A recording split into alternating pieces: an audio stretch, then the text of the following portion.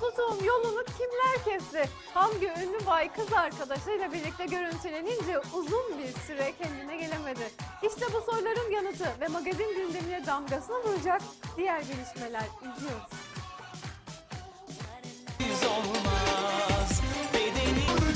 Lerden derlediğimiz turumuza finalde son olarak gecelerdeyiz. Gökhan Şükür iki hanımefendiyle birlikte bir mekandan çıkıyor.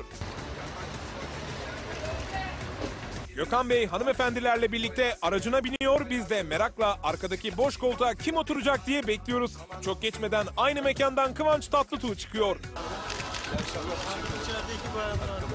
Kıvanç Bey tüm karizmasıyla yanımızdan uzaklaşıp araca binerken çok ilginç bir olay yaşanıyor. Arabanın önünü kesen Kıvanç Tatlıtuğ hayranları ünlü oyuncuya sevgi gösterisinde bulunuyor. O ilginç görüntülerde kameralara işte böyle yansıyor.